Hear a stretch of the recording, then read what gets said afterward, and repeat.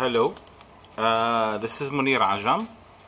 I'm gonna be recording very few short videos very quickly. Um, some of the things we were discussing in a workshop this week on the PMBOK guide on project management. And usually in these workshops, sometimes we highlight differences between some keywords in order to better understand them. Uh, so let's talk about some of those keyword differences today. One, um, we will talk about uh, two concepts related that basically related to product scope and project scope, uh, and the separation between the product scope versus project scope, and in relation to this, we'll talk about uh, WBS versus PBS. Now, we've recorded the videos on this topic before, so this will be very short, and you can refer to one of the earlier videos, probably you know on the number five or six, uh, basically dealing with this topic. It's uh, going back to the history of the PMBOK guide, uh, and even there has been some recent discussion online by the original author of the PMBOK guide on the difference between the concept of separation between what would be considered product scope versus project scope.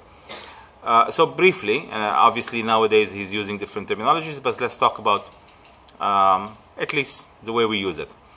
A product scope is basically is uh, is use is basically a picture of the final product that the project will produce. Um, obviously, if it is a facility or uh, even as a service, we can come up with a description of the characteristic of the product scope. Like for example, if it is physical facility, a house. Yeah, we want a house, two-story, garden, swimming pool, three bedrooms, five bedrooms, uh, ten bathrooms, these kind of things. This is a description of the product, and that uh, so basically uh, that will be the product scope, basically what we have to produce. Usually uh, a product scope definition, including the job descrip uh, description and characteristics. We can also show it on what we call a PBS, which is a product breakdown structure that try to simplify and uh, try to show the breakdown of the product and its components. And now this usually is a good tools to do on project early on uh, as we define the uh, requirement for the project and as we work on the project scope or the work scope that we have to do.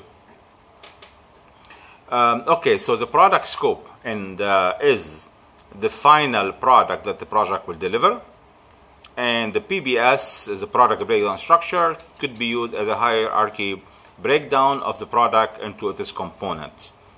Now projects usually, if you look at ISO 21500, ISO talked about in order to deliver project, I'm not talk about managing project, you need three type of processes. You need project management process, you need product-oriented processes, and you need support processes.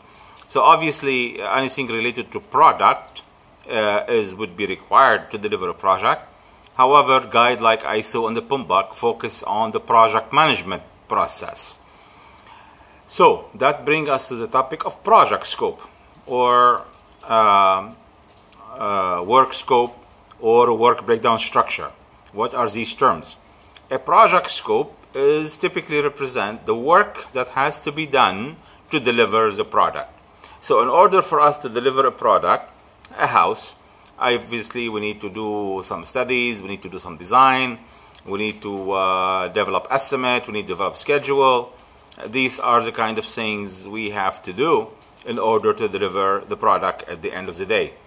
And we can use a work breakdown structure uh, to try to show the breakdown of the deliverable of the project, uh, basically, and the work that has to be done in a hierarchical way. So, product scope is what needs to be produced, project scope is what has to be done to produce the product. I think this is enough you can refer back to some old videos.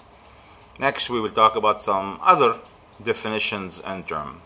Thank you.